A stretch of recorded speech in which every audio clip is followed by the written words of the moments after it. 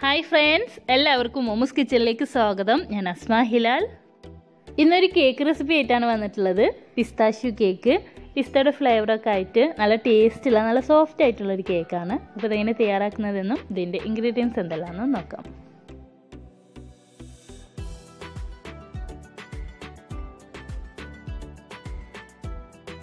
ആദ്യം dry ingredients എല്ലാം കൂടി ഒന്ന് അരിച്ചെടുക്കാം. ഇരുന്നൂറ്റമ്പത് എം എല്ലിന്റെ കപ്പിൽ ഒരു കപ്പ് മൈദയും ഒരു ടീസ്പൂൺ ബേക്കിംഗ് പൗഡറും അര ടീസ്പൂൺ ബേക്കിംഗ് സോഡയും ഒരു നുള്ള് ഉപ്പും ചേർത്ത് ഇതൊന്ന് അരിച്ചെടുക്കാം. ഇതിൽ വല്ല കട്ടൊക്കെ ഉണ്ടെങ്കിൽ ഒഴിവാക്കാൻ വേണ്ടിയിട്ടാണ്. ഇനി ഒരു ഫോർക്കോ വിസ്കോ ഉപയോഗിച്ചിട്ട് ഇത് നല്ലതുപോലെ ഒന്ന് മിക്സ് ചെയ്തെടുക്കാം. അതല്ലാന്നുണ്ടെങ്കിൽ രണ്ട് മൂന്ന് തവണ ഒന്ന് അരിച്ചെടുത്താലും മതി. ഇനി ഇതൊരു സൈഡിലേക്ക് മാറ്റി വെച്ചിട്ട് എഗ് മിക്സ് തയ്യാറാക്കിയെടുക്കാം. അതിന് വേണ്ടി ഡ്രൈ ആയിട്ടുള്ള ഒട്ടും വെള്ളം നനവൊന്നും ഇല്ലാത്തൊരു ബൗൾ എടുക്കുക. അതിലേക്ക് മൂന്ന് എഗ്ഗ് പൊട്ടിച്ചു വയ്ക്കാം തണുപ്പൊന്നും ഇല്ലാത്ത എഗ്ഗാണ്. ഇനി ഫ്രിഡ്ജിൽ വെച്ചിട്ടുള്ള എഗ്ഗ് ആണെങ്കിൽ കേക്കൊക്കെ തയ്യാറാക്കുന്നതിന്റെ ഒരു മണിക്കൂർ മുന്നേ ഒന്ന് ഫ്രിഡ്ജിൽ നിന്ന് പുറത്തൊക്കെ എടുത്ത് വെച്ചാൽ മതി. ഇനി ഇതിലേക്ക് ഒരു ടീസ്പൂൺ വാനില എസൻസ് കൂടിയും ചേർത്ത് ജസ്റ്റ് ഒന്ന് ബീറ്റ് ചെയ്തെടുക്കാം. എഗ്ഗിന്റെ ഒപ്പം തന്നെ വാനില എസൻസ് ചേർത്ത് ബീറ്റ് ചെയ്യുമ്പോൾ എഗ്ഗിന്റെ സ്മെല്ലൊന്നും ഉണ്ടാവില്ല. ഇനി ഇത് ജസ്റ്റ് ഒന്ന് ബീറ്റ് ആയതിനു ശേഷം ഇതുപോലെ നിറയെ ബബിൾ വരുന്ന സമയത്ത് ഇതിലേക്ക് ഇരുന്നൂറ്റമ്പത് എം എല്ലിന്റെ തന്നെ ഒരു കപ്പിലൊരു കപ്പ് പഞ്ചസാര പൊടിച്ചത് രണ്ട് മൂന്ന് തവണ ചേർത്തിട്ട് നല്ലതുപോലെ ഒന്ന് ബീറ്റ് ചെയ്തെടുക്കാം. എല്ലാം കൂടി ഒരുമിച്ച് ചേർത്തിട്ടുണ്ടെങ്കിൽ പഞ്ചസാരൊക്കെ തെറിച്ച് പോവുള്ളൂ. നല്ലതുപോലെ മിക്സായി കിട്ടില്ല. അതുകൊണ്ട് രണ്ട് മൂന്ന് തവണ ചേർത്തിട്ട് നല്ലതുപോലെ ഒന്ന് ബീറ്റ് ചെയ്തെടുക്കുക.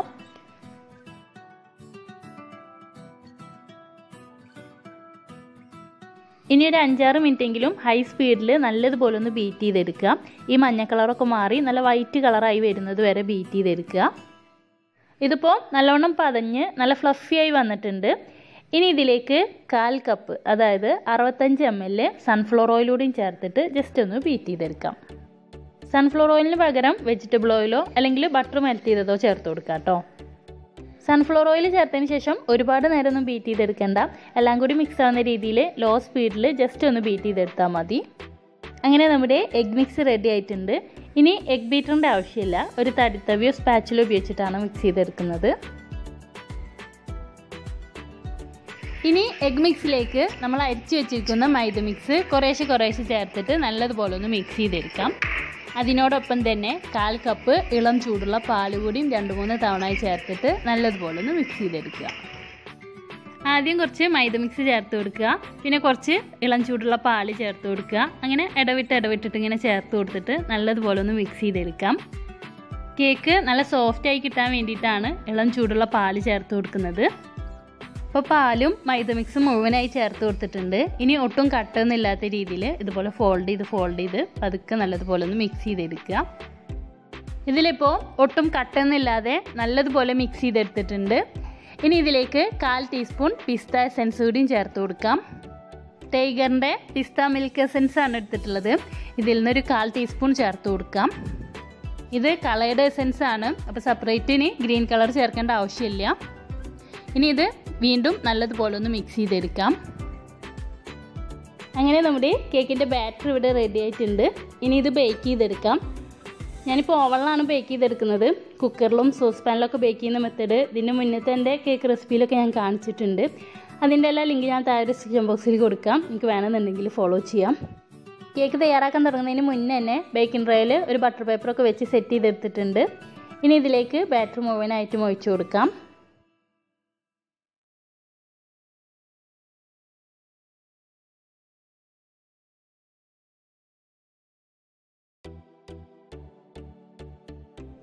ഇനി ഇതൊരു സ്പാച്ചിൽ വെച്ചിട്ട് പതുക്കൊന്ന് ഇളക്കി കൊടുത്ത് ലെവൽ ചെയ്തെടുക്കാം. അല്ലെങ്കിൽ ഇതിന്റെ സെന്റർ ഭാഗം മാത്രം പൊന്തി വരുള്ളൂ. വല്ല എയർ ബബിൾസ് ഉണ്ടെങ്കിൽ കളയാൻ വേണ്ടി നല്ലതുപോലെ ഒന്ന് ടാപ്പ് ചെയ്തതിന് ശേഷം നൂറ്റൻപത് ഡിഗ്രി സെൽഷ്യസിൽ പ്രീഹീറ്റ് ചെയ്ത് വെച്ചിരിക്കുന്ന ഓവണിലേക്ക് നൂറ്റമ്പത് ഡിഗ്രി സെൽഷ്യസിൽ തന്നെ മുപ്പത് മുതൽ മുപ്പത്തഞ്ച് മിനിറ്റ് വരെ ബേക്ക് ചെയ്തെടുക്കാം. ഓരോരുത്തരുടെ ഓവണിനനുസരിച്ചിട്ടൊക്കെ ടൈമിൽ ചെറിയ മാറ്റം വരാം. ഇതിപ്പോൾ റെഡി ആയിട്ടുണ്ട്. ഇനി ഇതിന്റെ സൈഡൊക്കെ ഒന്ന് വിടർത്തിയതിന് ശേഷം ഒരു പാത്രത്തിലേക്ക് ഫ്ലിപ്പ് ചെയ്യാം. അങ്ങനെ നമ്മുടെ സ്പഞ്ച് നല്ല സോഫ്റ്റ് ആയിട്ട് തന്നെ വന്നിട്ടുണ്ട്. ഇനി ഇത് ചൂടാറാനായിട്ട് മാറ്റിയേക്കാം. അപ്പോഴേക്കും നമുക്കിതിലേക്കുള്ള വിപ്പിംഗ് ക്രീം തയ്യാറാക്കിയെടുക്കാം. ഒന്നര കപ്പ് വിപ്പിംഗ് ക്രീമിലേക്ക് നമ്മൾ നേരത്തെ ചേർത്ത് കൊടുത്ത പിസ്ത എസൻസ് തന്നെ ഒരു തുള്ളി ചേർത്തിട്ട് നല്ലതുപോലെ ഒന്ന് ബീറ്റ് ചെയ്തെടുക്കുക. നല്ല സ്റ്റിഫായി വരുന്നത് വരെ ബീറ്റ് ചെയ്തെടുക്കുക. വിപ്പിംഗ് ക്രീം ബീറ്റ് ചെയ്യുന്നതൊക്കെ ഇതിന് മുന്നത്തെ റെസിപ്പിയിൽ ഡീറ്റെയിൽ ആയിട്ട് തന്നെ കാണിച്ചിട്ടുണ്ട്. ഇപ്പോൾ ക്രീം റെഡി ആയിട്ടുണ്ട്. ഇത് നല്ല സ്റ്റിഫായി വന്നിട്ടുണ്ട്. ഇനി നമുക്കിതിലേക്കുള്ള ഗണാശി തയ്യാറാക്കിയെടുക്കാം. അതിന് വേണ്ടി അര കപ്പ് വൈറ്റ് ചോക്ലേറ്റ് ഗ്രേറ്റ് ചെയ്തതിലേക്ക് കാൽ കപ്പ് ഫ്രഷ് ക്രീം ചൂടാക്കിയിട്ടൊന്ന് ചേർത്ത് കൊടുക്കാം. ഫ്രഷ് ക്രീമിന് പകരം വിപ്പിംഗ് ക്രീം ഉപയോഗിക്കാം. നല്ലതുപോലെ ഒന്ന് ചൂടാക്കിയാൽ മതി. തിളപ്പിക്കൊന്നും വേണ്ട. തിളപ്പിച്ചിട്ടുണ്ടെങ്കിൽ ചിലപ്പം പിരിഞ്ഞു പോകാൻ ചാൻസ് ഉണ്ട്. അപ്പോൾ ഇതിലെ വൈറ്റ് ചോക്ലേറ്റ് ഒക്കെ നല്ലതുപോലെ മെൽറ്റ് ആയിട്ടുണ്ട്. ഇനി ഇതിലേക്ക് ഒരു തുള്ളി പിസ്ത സെൻസ് കൂടിയും ചേർത്തിട്ട് വീണ്ടും നല്ലതുപോലെ ഒന്ന് മിക്സ് ചെയ്തെടുക്കുക. ഇനി നിങ്ങൾക്ക് വൈറ്റ് ചോക്ലേറ്റ് കോമ്പൗണ്ട് കിട്ടിയിട്ടില്ലെങ്കിൽ മിൽക്കി ബാർ ഉപയോഗിച്ചാലും മതി. ചോക്ലേറ്റ് ചെറിയ പീസായിട്ട് കട്ട് ചെയ്തെടുക്കണം. നല്ലതാണ് നല്ലതുപോലെ മെൽറ്റായിട്ട് കിട്ടുള്ളൂ. ഇനി വലിയ പീസായിട്ട് മെൽറ്റ് ആവാതെ കിടക്കുന്നുണ്ടെങ്കിൽ ഡബിൾ ബോയിലും വഴി മെൽറ്റ് ചെയ്തെടുത്താലും മതി. അങ്ങനെ നമ്മുടെ പിസ്ത ഗനാഷും റെഡി ആയിട്ടുണ്ട്. ഇനി നമുക്ക് കേക്ക് എങ്ങനെ ഫ്രോസ്റ്റിംഗ് ചെയ്തെടുക്കുന്നതെന്ന് നോക്കാം. കേക്ക് നല്ലോണം ചൂടേറിയതിന് ശേഷം ഇതിന്റെ മുകളിലത്തെ ബ്രൗൺ കളറൊക്കെ ഒന്ന് കട്ട് ചെയ്ത് മാറ്റിയിട്ട് മൂന്ന് ലെയറായിട്ട് കട്ട് ചെയ്തെടുക്കാം. ഇനി ഫസ്റ്റ് ലെയർ എടുക്കുക. അതിന്റെ മുകളിൽ ഷുഗർ സിറപ്പ് സ്പ്രെഡ് ചെയ്ത് കൊടുക്കുക. എന്നിട്ട് അതിന്റെ മുകളിൽ വിപ്പിംഗ് ക്രീം സ്പ്രെഡ് ചെയ്ത് കൊടുക്കുക.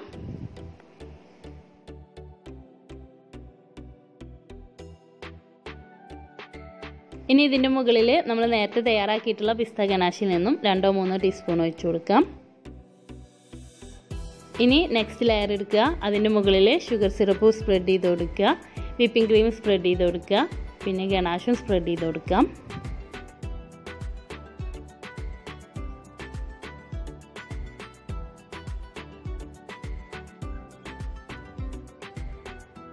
ഇനി ലാസ്റ്റ് ലെയർ വെച്ച് കൊടുക്കുക. അതിന്റെ മുകളിൽ ഷുഗർ സിറപ്പ് സ്പ്രെഡ് ചെയ്ത് കൊടുക്കുക.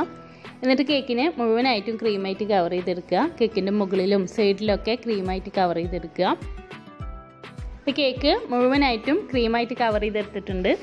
ഇനി ഒരു പാലറ്റ് നൈഫോ അല്ലെങ്കിൽ സ്ക്രീപ്പറോ ഉപയോഗിച്ചിട്ട് കേക്കിനെ നല്ലതുപോലെ ഒന്ന് ലെവൽ ചെയ്ത് കൊടുക്കാം.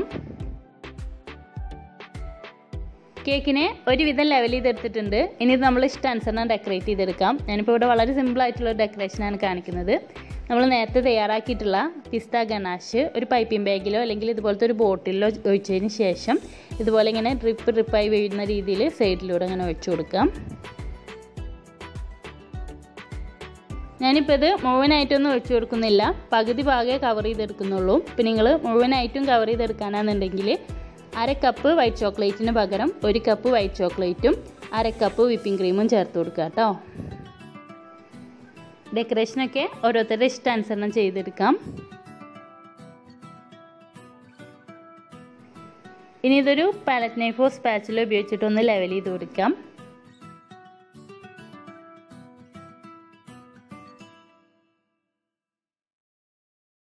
ഇനി സ്റ്റാർ നോസിൽ വെച്ചിട്ട് ഇതിന്റെ സെന്ററിലൂടെ ഇങ്ങനെ റോസറ്റ് വരച്ചു കൊടുക്കാം.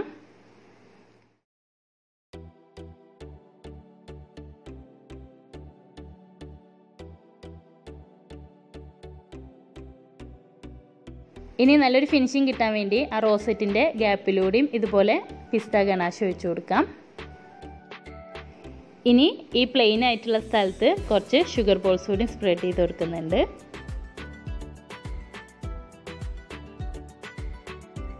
അങ്ങനെ നമ്മുടെ കേക്കിന്റെ ഡെക്കറേഷനൊക്കെ ഇവിടെ ഒരുവിധം കഴിഞ്ഞിട്ടുണ്ട്. ഇനി ഇത് ഓവർനൈറ്റ് ഫ്രിഡ്ജിൽ വെച്ച് സെറ്റ് ചെയ്തതിന് ശേഷം കട്ട് ചെയ്തെടുക്കാം. ഫ്രീസറിലല്ല ഫ്രിഡ്ജിലാണ് വെക്കുന്നത്. പിസ്തയുടെ ഫ്ലേവറൊക്കെ ആയിട്ട് നല്ല ടേസ്റ്റുള്ളൊരു കേക്കാണ് അപ്പോൾ എല്ലാവരും ഒന്ന് ട്രൈ ചെയ്ത് നോക്കിയിട്ട് ഫീഡ്ബാക്കൊക്കെ അറിയിക്കുക. പിന്നെ വീഡിയോ ഇഷ്ടമായിട്ടുണ്ടെങ്കിൽ ലൈക്ക് ചെയ്യാനും കമന്റ് ചെയ്യാനും ഷെയർ ചെയ്യാനും മറക്കരുത്. ആരെങ്കിലും സബ്സ്ക്രൈബ് ചെയ്യാതെ കാണുന്നുണ്ടെങ്കിൽ ഒന്ന് സബ്സ്ക്രൈബ് ചെയ്ത് സപ്പോർട്ട് ചെയ്യുക. അപ്പോൾ ഇതുപോലത്തെ നല്ല നല്ല റെസിപ്പികളുമായി വീണ്ടും കാണാം. അതുവരേക്കും ബൈ താങ്ക്